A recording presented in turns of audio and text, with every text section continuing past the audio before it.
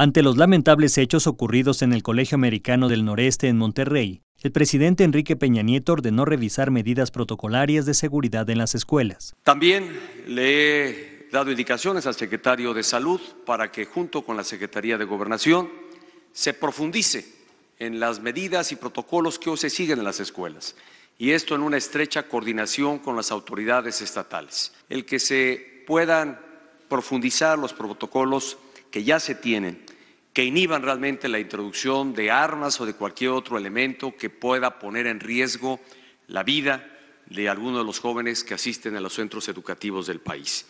Al reiterar su mayor solidaridad para con las personas lesionadas, sus familias, la comunidad escolar de Nuevo León y para toda la sociedad, el Ejecutivo Federal recordó que la tarea de velar por los hijos convoca a directivos, docentes y a la sociedad en su conjunto para que a partir de los valores familiares que tenemos como sociedad seamos permanentes promotores, permanentes inculcadores de esos valores que nos eviten realmente el poder eh, tener una tragedia como esta eh, en el futuro.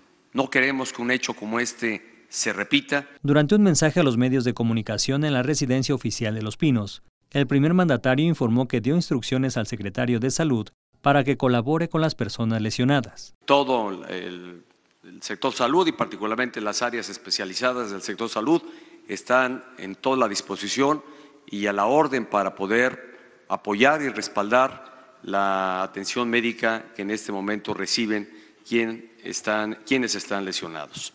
En este marco, el presidente de la República también hizo otros anuncios en materia educativa. Primero, agilizar la revalidación de estudios y títulos obtenidos en el extranjero, haciendo del trámite un proceso casi automático. Incluso para educación primaria y secundaria no será necesario ya exhibir documentos, bastará con la presentación de un escrito de parte de los interesados. Casi todo el proceso de revalidación recaerá en la institución de educación que reciba a quien venga de otra parte del mundo esta medida también contempla la revalidación de estudios de migrantes, así como reconocer la certificación de competencias laborales. Estos anuncios entrarán en vigor en febrero próximo. Aquellas medidas que requieran cambios legislativos serán parte de una iniciativa de ley que estaré enviando próximamente al Senado de la República en el próximo periodo legislativo que inicia en el mes de febrero. Todas estas medidas son para proteger a los mexicanos que retornan a su país y sus beneficios serán efectivos, sin importar su condición migratoria ni los documentos con que cuenten. Finalmente, el presidente Enrique Peña Nieto hizo referencia a las plazas de maestros que se otorgaron en Guerrero. Ayer, por primera vez en Guerrero, se entregaron, se incorporaron y obtuvieron una plaza de maestro 700 normalistas del estado de Guerrero.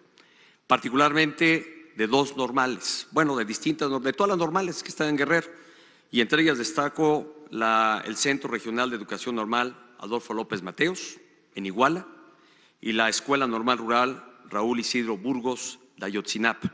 Con información de Araceli Rivera, Notimex.